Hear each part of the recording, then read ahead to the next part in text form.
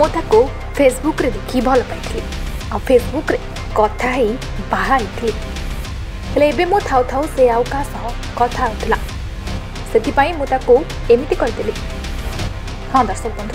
ପ୍ରଥମେ ସୋସିଆଲ ମିଡ଼ିଆରେ କଥା ହେଇ ପ୍ରେମରେ ପଡ଼ିଯାଇଥିଲେ ଆଉ ବାହା ମଧ୍ୟ ହୋଇଥିଲେ ଆଉ ଶେଷରେ ସେ ସୋସିଆଲ ମିଡ଼ିଆ ପାଇଁ ନିଜ ସ୍ତ୍ରୀର ଜୀବନ ନେବାକୁ ମଧ୍ୟ ପଛେଇ ନଥିଲା ସେ ନୃଶଂସ ସ୍ୱାମୀ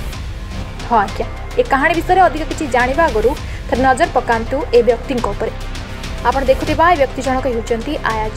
ଯିଏକି ତେସ୍ମା ନାମକ ହିଜବତୀଙ୍କୁ ପ୍ରେମ ବିବାହ କରିଥିଲେ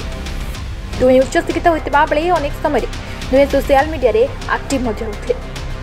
ଆଉ ସେ ସୋସିଆଲ ମିଡ଼ିଆରୁ ଦୁହିଁଙ୍କର ଦେଖା ମଧ୍ୟ ହୋଇଥିଲା ପ୍ରଥମେ ବନ୍ଧୁତା ଆଉ ପରେ ସେହି ବନ୍ଧୁତା ପ୍ରେମର ସମ୍ପର୍କରେ ବଦଳିଥିଲା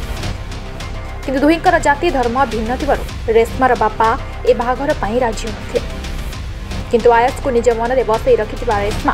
ଶେଷରେ ଘର ଲୋକଙ୍କ ନଜରରୁ ଲୁଚି ବାହାରକୁ କେଉଁଆଡ଼େ ଫେରାର ହୋଇଯାଇଥିଲା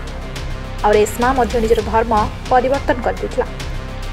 କିନ୍ତୁ ବାହାଘର ପରେ ସବୁକିଛିକୁ ଯେତିକି ସେ ସହଜ ବୋଲି ଚିନ୍ତା କରିଥିଲେ ତାହା ସେ ସବୁଠାରୁ ସମ୍ପୂର୍ଣ୍ଣ ଭିନ୍ନ ଥିଲା ବାହାଘର ପରେ ରେଶ୍ମାଙ୍କର ଗୋଟିଏ ପୁଅ ଜନ୍ମ ହୋଇଥିଲା କିନ୍ତୁ ପୂର୍ବପରି ନିଜର ସୋସିଆଲ ମିଡ଼ିଆରେ ଆକ୍ଟିଭ୍ ରହୁଥିବା ରେଶ୍ମା ବାହାଘର ପରେ ମଧ୍ୟ ନିଜ ଫଟୋ ଆଉ ଭିଡ଼ିଓକୁ ସେୟାର କରୁଥିଲା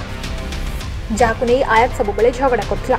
आपरी सोशियाल मीडिया कथा होता बहुत करा से आउ क्या बह करदेव कही सन्देह कर